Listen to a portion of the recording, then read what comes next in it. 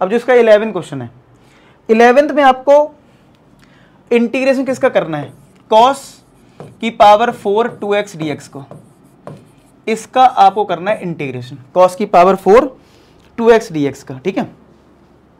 तो कॉस की power four को हम लोग क्या लिख सकते हैं? इसको हम लिख सकते हैं कॉस स्क्वायर टू एक्स का होल स्क्वायर ऐसे तो लिखोगे? और अब कॉस स्क्वायर को कैसे रिप्लेस करेंगे?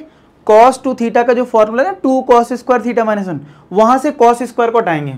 तो भाई देखो कॉस टू थीटा का फॉर्मूला क्या है?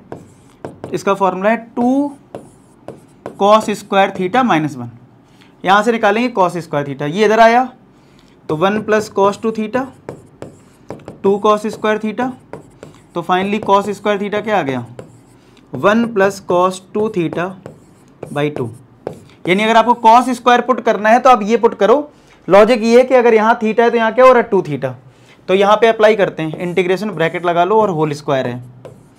डी एक्स तो कॉस स्क्वायर में ये लगाना है। वन प्लस कॉस थीटा का डबल टू थीटा तो टू एक्स का double four x upon two यही तो आएगा।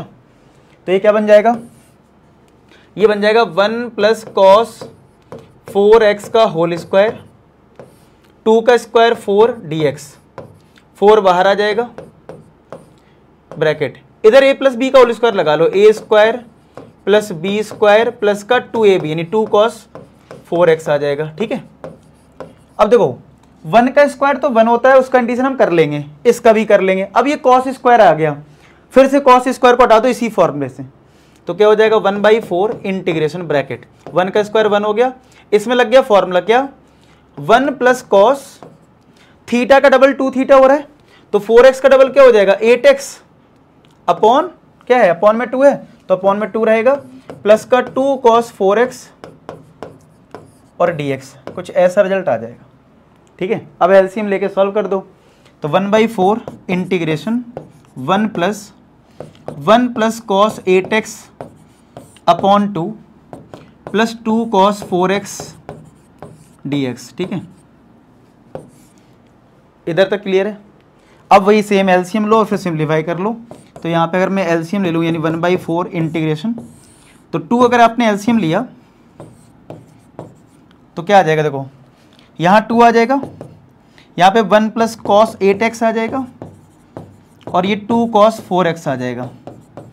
आ जाएगा कि नहीं आ जाएगा? अब टू प्लस वन कितना होता है? थ्री थ्री लिख देंगे, और ये cos eight cos eight x और ये टू कॉस फोर एक्स ठीक है? आप इतना नोट कर लो, मैं इसको इरेज कर रहा हूँ, ठीक है? तो देखो क्या आएगा यहाँ से। एक तो ये टू को मैं बाहर कर देता हूँ वन बाई एट कर देता हूँ, ठीक है? अब इंटीग्रेशन में क्या क्या बचेगा? Two plus one three three plus cos eight x और ये two cos four x bracket close अब इंटीग्रेट करते हैं। वन बाई एट बाहर. थ्री का इंटीग्रेशन हो जाएगा three x cos eight x का हो जाएगा sine eight x upon eight इसमें टू बाहर आ गया। कॉस साइन फोर एक्स का क्या हो जाएगा? सॉरी कॉस फोर एक्स का क्या हो जाएगा? Sin four x upon four plus का सी। अब एट का मल्टीप्लाई करोगे थ्री एक्स बाई एट। इसमें करोगे sine eight x by sixty four.